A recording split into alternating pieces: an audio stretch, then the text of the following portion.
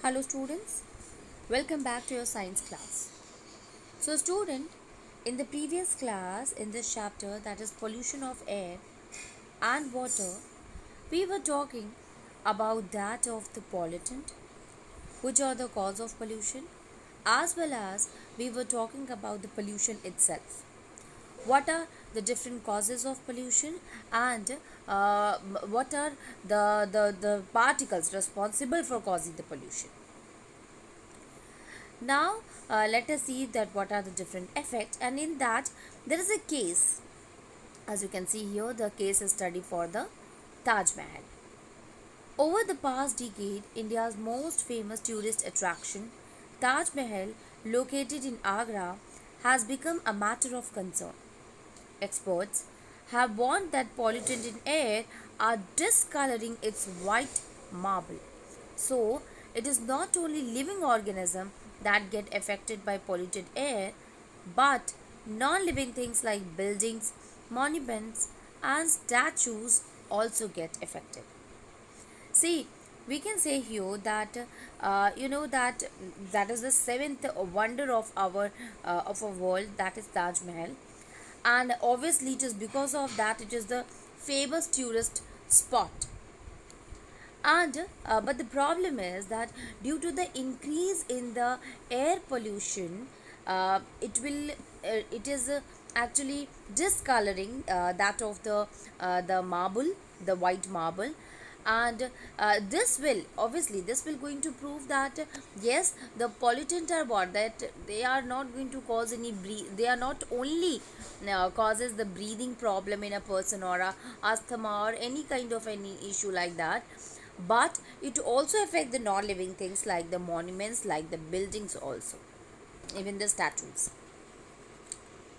The industries located in and around agra like rubber processing automobiles chemicals and especially the mathura oil refinery have been responsible for producing pollutant like sulfur dioxide and nitrogen dioxide see uh, why Taj Mahal get affected? It affected because of the uh, it is because of the uh, the industries which is present around it uh, uh, which is present around the the Taj Mahal which is present around Agra and like that of the rubber processing industries there automobiles are there chemical is there and one of the mm, other one uh, that is a very important or the important cause of this is the Mathura oil refinery.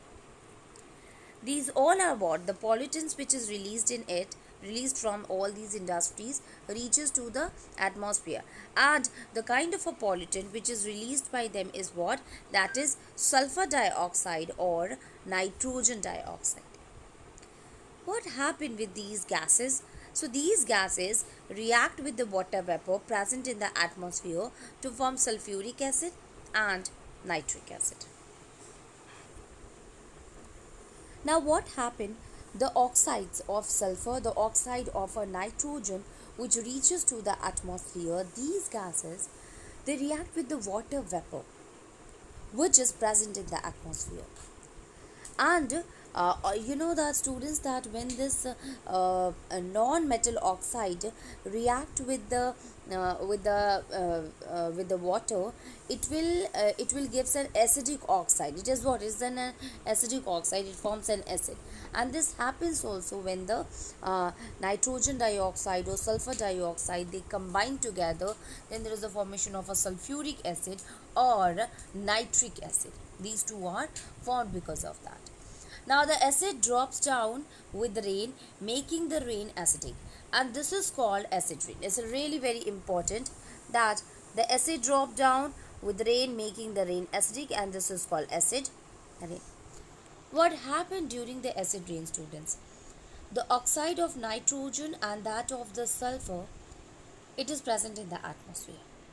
When the rainfall occur, the water vapor the the uh, the uh, the gases which was present in that of the atmosphere it will react with the water after reacting with the water uh, it will forms the it will get converted into nitrous acid or sulfurous acid. And ultimately this will result into acid rain. Okay? So acid rain is what? Oxide of nitrogen oxide of sulfur combined with water to form sulfurous acid and nitrous acid. Now see here.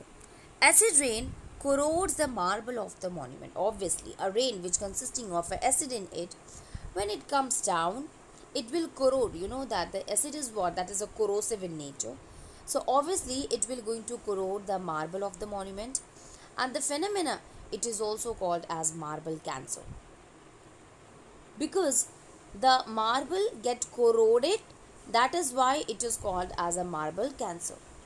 Suspended particulate matter such as shoot particle emitted by mathura oil refinery has contributed towards the yellowing of the marble so not only this these days uh, we will find out that uh, even there is a yellowing of the um, of the the monument of Taj Mahal occur and it is also because of the the suspended particulate matter that is SPM which is released by that of the Mathura oil refineries.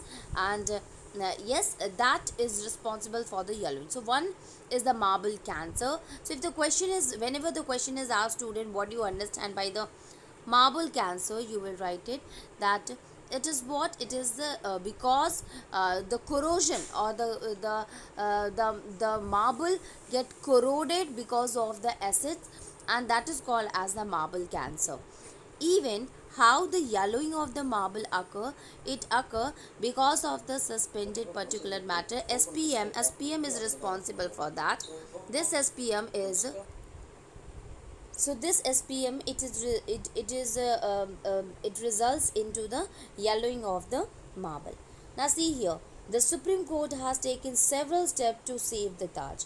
It has ordered industries to switch to cleaner fuel like cng and lpg moreover the automobile switch should switch over to unleaded petrol in the taj zone. See what happened if we talk about uh, the Taj, because of the yellowing and because of the corrosion of the marble is going on, in order to prevent that, Supreme Court has taken steps. And these steps, it saves the Taj and they ordered, Supreme Court ordered industries to switch to the cleaner fuel like CNG, compressed natural gas or liquefied petroleum gas even the automobile it is switched to uh, to uh, over to unleaded petrol in the uh, in the Taj Mahal zone. So these are some of the measures that has been taken by that of the government in order to uh, prevent such kind of a, of a um, uh, corrosion or a yellowing can occur to that of the monument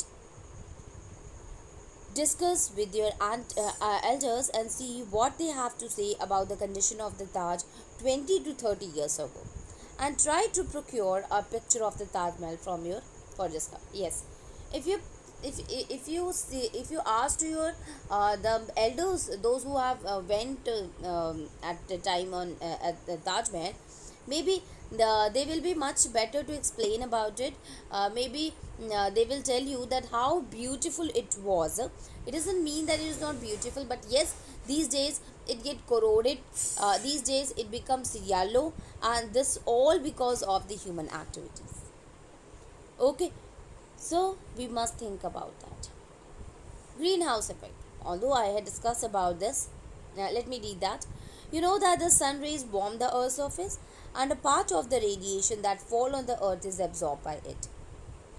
And a part is reflected back into space. A part of reflected radiation is trapped by atmosphere. The trapped radiation further warm the earth. If you have seen a greenhouse in a nursery or elsewhere recall that sun's heat is allowed to get in but is not allowed to go out the trapped heat warm. So here it, it is explaining again students that in the greenhouse effect what happened? Uh, sun is uh, sunlight which comes to the atmosphere uh, it some of the light it get uh, reflected. So most of the light is what? It gets reflected back. And a part of the reflected radiation some of them will get trapped by the atmosphere. Now see here here it is written that the trapped radiation further warm the earth. And if you have seen a greenhouse in a nursery or elsewhere recall that the sun heat is allowed to get in but is not allowed to go out. The trapped heat warmed the greenhouse. The trapping of radiation by the earth atmosphere is similar. That is why it is called the greenhouse effect. Now see here, why it is called as a greenhouse effect. What is a greenhouse? I told you again, uh, I told you yes uh, in the previous one also. Um, it is what is a kind of a uh, house which is made up of a glass which allow the sunlight to come but do not allow it to reflect back. Similarly, the greenhouse effect is there when the greenhouse gases are responsible for not making the sunlight to reflect it back by the atmosphere. Without this process, life would not be possible on the earth. But now it threatens life. Excess of CO2 in air is one of the gases responsible for this effect. See, role of CO2 is to uh, trap the heat and that's why it helps in maintaining the temperature also. But if excess of a carbon dioxide is present in the atmosphere, that is not good for the uh, for the environment. So it will going to trap the more uh, most amount of the uh, of the heat and do not allow it to go back. And this will lead to the increase in the temperature. Understood? Now see here. You know that carbon dioxide is one of the component of air. You have also studied that the role of carbon dioxide in plant. But if there is excess of carbon dioxide in the air it acts as a pollutant. So uh, carbon dioxide it acts as a pollutant as mm, if there is an excess amount of a carbon dioxide is present in the atmosphere. Can you help Paheli find out the answer to her question? On the other hand, so what is the question of the Paheli? Let us see. How does CO2 content rise in atmosphere and become excessive? Yes. Emission of of, uh, of the gases from the vehicles uh, combustion of the fuels, burning of the fuels, they all are responsible what? For the increase in the concentration of the carbon dioxide in the atmosphere. So, uh, how the carbon dioxide increases? Because of the combustion, because of the uh, evolution of the different gases by the by the vehicles. And even one of the other one is deforestation. Because if the plant will be not there nobody will be there to consume the excess amount of a carbon dioxide which is releasing in the atmosphere. And these days we are simply cutting the trees. And this will going to uh, increases the concentration of a carbon dioxide also in atmosphere. Now see here. CO2 is continuously being released because of human activities. On the other hand area under forest is decreasing. Plants utilize carbon dioxide from the atmosphere for photosynthesis, thereby decreasing the amount of carbon dioxide in the air. Yes, carbon dioxide it being released by human activities and plants uh, they are uh, they are continuously cutting down uh, that is called as a deforestation and it will also lead to increase in the uh, the percentage of the concentration of the carbon dioxide in the atmosphere. So nobody is there to consume it and to perform the process of photosynthesis. So obviously the amount will also get increases. Human activity contribute to the accumulation of carbon dioxide in the atmosphere. CO2 trapped heat and does not allow it to escape into space. As a result, the average temperature of the Earth's atmosphere is gradually increasing and this is called global warming. See, uh, uh, since the carbon dioxide is increasing so the trapping of the heat will increase and this will increases the temperature that is called as a global warming. Other gases are also there that methane, nitrous acid and water vapor, uh, water vapor these also contribute towards this effect. Like carbon dioxide, they are also called as the greenhouse gases. Global warming has become a major concern for government worldwide. Many countries have reached an uh, have reached an agreement to reduce the emission of greenhouse gases.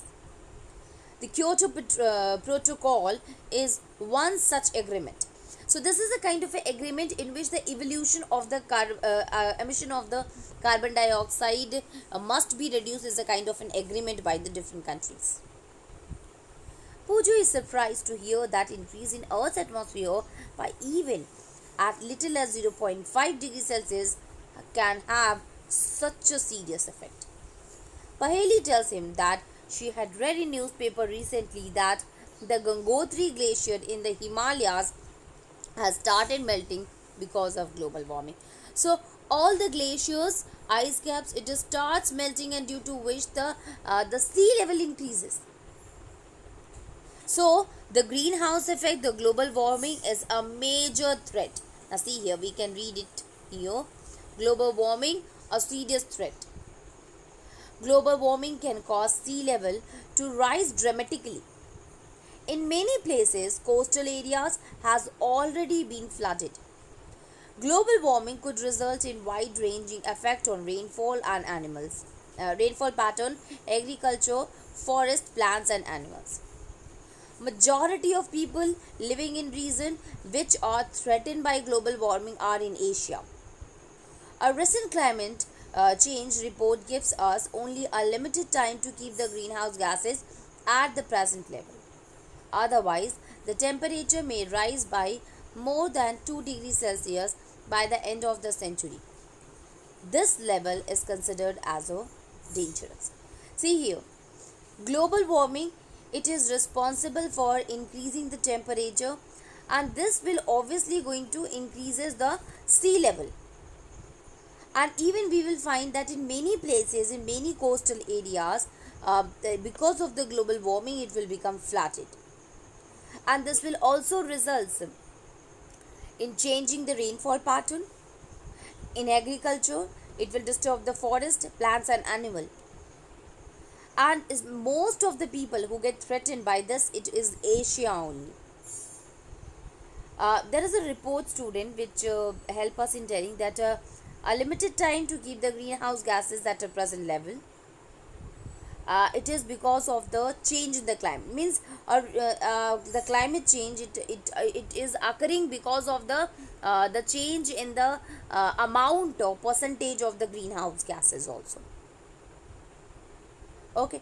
So global warming it is a, a serious threat.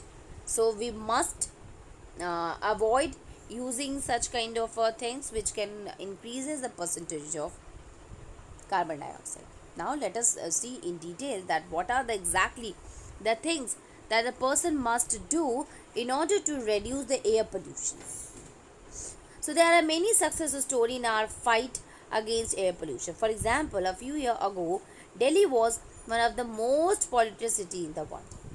It was being choked by fumes released from automobiles running on diesel and petrol. And a decision was taken to switch to fuel like CNG. And unleaded petrol. So before that, Delhi was what it was considered as the most polluted city students. So it was thought that uh, we must prevent it uh, so that the public transport it will be it must be used by the people and the public transport uh, is it is powered by CNG so CNG buses starts running there. So it was considered to be the uh, uh, it was considered to be the very much polluted city in the one of the polluted city of the world. So decision has been taken and this measure have result in cleaner air for the city. Obviously, by taking the respective steps that will help in cleaning the air for the city. And you might know of some other example from your area regarding reduction of air pollution. Obviously, there are many places, student, where the pollution was very uh, high. And yes, we are knowing that how we can control it and we must control it in order to uh, in order to get any kind of a harm to our environment that will ultimately cause problem to us only So, do you know about Say No to Crackers campaign which was organized by children from many schools and this made a big difference to the air pollution level around the Diwali. Yes, in Diwali, the people used to burn crackers and that causes air pollution. This must be avoided by the people itself. Okay.